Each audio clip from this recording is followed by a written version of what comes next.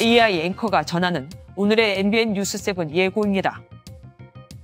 부산이 2030 세계 박람회 개최지 선정 투표에서 29표를 획득해 119표를 얻은 사우디아라비아 리야드에 밀려 세계 박람회 유치에 실패했습니다.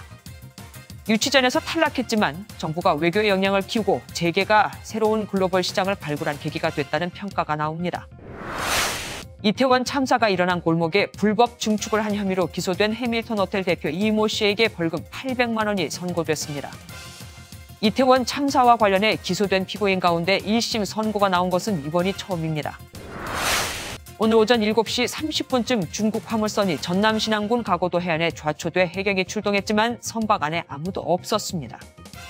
해경은 빈 배로 필요하다가 해안까지 밀려와 좌초했을 가능성을 염두에 두고 미립국 여부 등 정확한 경위를 조사하고 있습니다. 이스라엘과 팔레스타인 무장정파 하마스가 휴전을 연장하는 합의를 진행 중이라는 보도가 나왔습니다.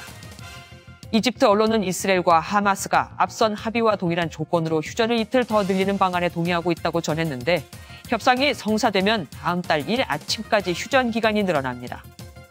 잠시 후 MBN 뉴스7에서 더 자세히 전해드리겠습니다.